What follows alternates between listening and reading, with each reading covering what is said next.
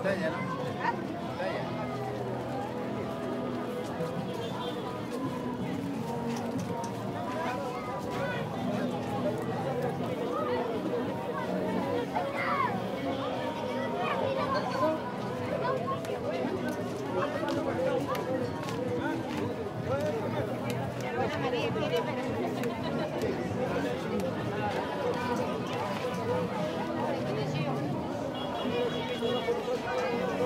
Entonces voy a ser mío,